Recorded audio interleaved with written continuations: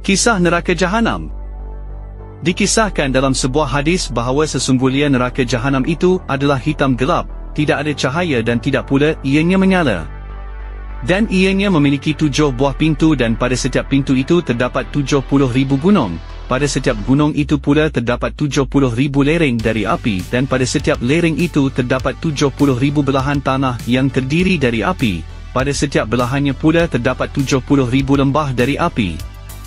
Dikisahkan dalam hadis tersebut bahawa pada setiap lembah itu terdapat 70 ribu gudang dari api, dan pada setiap gudang itu pula terdapat 70 ribu kamar dari api. Pada setiap kamar itu pula terdapat 70 ribu ular dan 70 ribu kala dan dikisahkan dalam hadis tersebut bahawa setiap kala itu mempunyai 70 ribu ekor dan setiap ekor pula memiliki 70 ribu ruas. Pada setiap ruas kala tersebut ianya mempunyai 70 ribu bisa. Dalam hadis yang sama menerangkan bahawa pada hari kiamat nanti akan dibuka penutup neraka jahanam, maka sebaik sahaja pintu neraka jahanam itu terbuka, akan keluarlah asap datang mengepung di sebelah kanan jin dan manusia. Dan sebuah kumpulan asap lagi mengepung mereka di sebelah kiri. Lalu datang pula sebuah kumpulan asap mengepung mereka di sebelah hadapan muka mereka, serta datang kumpulan asap mengepung di atas kepala dan di belakang mereka. Dan mereka jin dan manusia apabila terpandang akan asap tersebut maka bergentarlah dan mereka berlutut dan memanggil-manggil, Ya Tuhan kami selamatkanlah.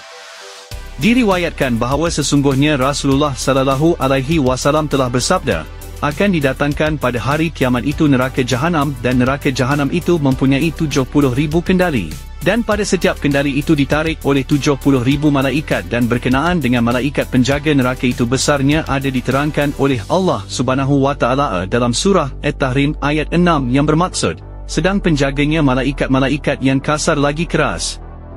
Setiap malaikat apa yang ada di antara pundaknya adalah jarak perjalanan setahun dan setiap satu dari mereka itu mempunyai kekuatan yang mana kalau dia memukul gunung dengan pemukul yang ada padanya maka nescaya akan hancur lebuh gunung tersebut. Dan dengan sekali pukulan sahaja ia akan membenamkan 70 ribu ke dalam neraka jahanam.